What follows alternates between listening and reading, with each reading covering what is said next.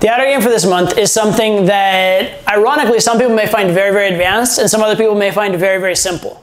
And it really depends how you've been approaching game. So what I'm gonna tell you to do is approach game in a slightly different way than what I see a lot of students do. You see, I see a lot of students who watch infield footage um, or, or hear lines that instructors say and they think, oh, that's good game. And they think because they saw it on my infield, it's good game so they can just repeat it. I had a student I did an infield breakdown with um, earlier today. And he came in here and he was saying these lines that I thought were completely miscalibrated, completely out of context. He's like, I got that from you. I'm like, no, you didn't. Like, I may have said that, I may have said those words, but you did not get that line from me because I would never have used that line in that context. I would never have used that line at that place because the line had a purpose. That line had a purpose, and that place did not suit that purpose. Okay, so what I want you to understand is that game has a progression to it. Okay, and so there are sort of stages and phases in game, and what's good game in one may be bad game in another. All right, so I'm going to give you basically the most simple model of game you could possibly have ever.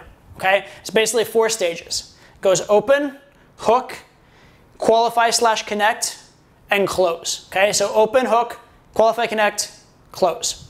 All right, so open. All your job is is to get her to respond to you. That's it. You're looking for a response, ideally one that's other than fuck off. That's your only goal. All right? So what do you need to do? You need to be loud and confidence and you have a good angle and a smile on your face. That's it. Okay? That's it. That's all you're doing. Don't think further ahead than that. If you try and do more than that, you're overcomplicating it.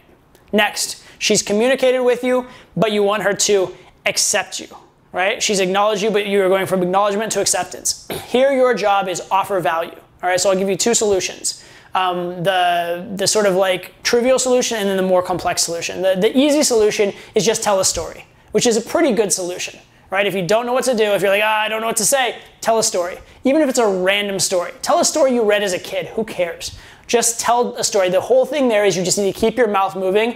You need to get her used to talking to you, and you need to be offering value, offering something interesting to the conversation.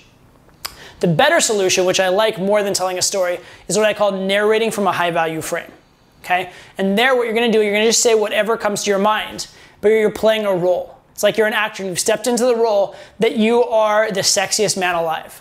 And girls have been swooning all over you, and girls are trying to date you, and you just wanna pick out a girl that you can really connect with who will be a quality girl. Right? And so there's this natural screening to it, there's this natural arrogance and entitlement to it, but really you're just gonna narrate that frame from that frame. So you might hear things such as, hey, so, uh, you know, I don't really know what to say to you, but um, obviously we're both very attractive people, and um, I thought that you might be the girl that finally impresses me, so I wanted to come say hi to you, right? That's a decent narration right off the open, right? And that's, that's just something that came off the top of my head, but it came off the top of my head from a high value frame. The implications there, I'm an attractive person. The implication there, you'd want to be with me, right? So it's a foregone conclusion you'd want to be with me, but I'm deciding about you, right?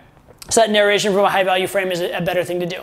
But the key thing there from open to hook is keep talking no matter what about you, about your opinions, your values, your perspectives, etc. Ideally, as it relates to her, right? So your perspectives, your ideas, your opinions as it relates to you and her. And in fact, if you were going to tell a story, it's good to relate the story to her as well. Okay? So you have open, just fucking get her attention, be positive, be loud, etc. You have the next stage, which is offering value about you and about her. It's not about small talk, it's about you and about her. That's it. That's your only thing you're thinking about. And then you have the transition into getting to know her. And I, I, came up today with this student with like kind of a good general phrase for that, which I want to kind of give to you, which is, wow, you actually seem X, so tell me more. Wow, you actually seem a little bit stylish, so tell me, whoa, you have a good sense of humor, that's cool. Tell me more, I'm curious about you now. Or, hey, you actually have a good sense of humor, so I'm curious, what's your story? Right? So that's that transition between she's responding to you and she likes you, two, you can actually connect and get to know her. But again, it's with this qualifying frame, it's with this idea that you're a high value person and it's something you're doing for her. And then it's very important that you do that before you go to the close. One of the biggest mistakes I see guys making, it's shocking how often I see this one. They go in, do a good open. They self amuse, talk, carry the conversation, joke around, whatever. They get the hook. And then as soon as the girl giggles once, or as soon as the girl gives them one compliment, they're like, so let's grab coffee. So they get they go straight from hook to close, and there's no actual connection in the interaction. I want you to understand that connection part is the important part. The whole point of doing the open and the hook was to get you to connection. Okay, so don't skip it. That's the good stuff. And even if you do close, you're gonna have to get on a date, you have to do that connection anyway, so you may as well do it now and make the number solid. Okay? Don't skip connection. Don't open with a close. Don't be the guy that, that's in such a hurry to get out of there and so unconfident in himself he rushes to the close. Trust that the longer she spends, the longer she spends with you, the better she's going to like you and the better things are going to go. Okay? So that's it. Open, hook, um, qualify, connect, and then close. All right. And each stage has a very specific mandate. Open, get her attention in a positive way. Hook, keep talking about you and her and keep it going until she participates, until she jumps in, right? Qualify. Give her some reason why this is a reason to connect, right? Some little reason, and then get to that connection stuff. Now, at an advanced level, for those of you who are very advanced, you might do some disqualifying along with the qualifying, but that's not even that important for now, because even if you never did that, you could still have a ton of great interactions. And again, we're keeping the model simple, okay? So just the slightest qualifier is a reason you want to get to know her, and then, hey, I'm curious about you, I want to get to know you. I'm curious, curious about you, what's your story? And then you take your time, have that normal conversation, keeping it man to woman ideally, but have that normal conversation. And then once you've connected, it makes sense to close. And that's when your closes are going to be consistent, and that's when they're actually going to follow up with you. Simplest model of game ever. Again, open hook, qualify, connect, close, with one specific focus each step along the way.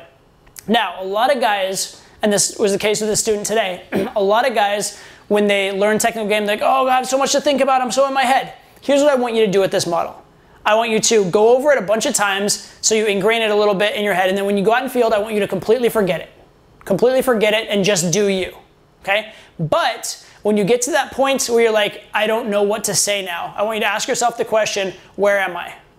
Where am I in the set? What stage am I at? And then I want you to take the behavior of that stage. So if you're like, oh, she likes me, but it's not going anywhere. So you know what? You're very stylish. Tell me more about you, right? Because you're at that stage. Or if you've said hi and you're like, oh, what do I say? Well, it's time to just ramble. You know, actually, to be fair, like I'm normally so articulate, but uh, I, I, just I didn't have anything planned. But clearly, we're both attractive. Um, you seem stylish, so you might be able to keep up with me. Um, and I wanted to find out more. What's your name? Make sense? So that's the hook. You ramble through it. So I don't want you to be thinking about this all the time. I want you to be just doing you.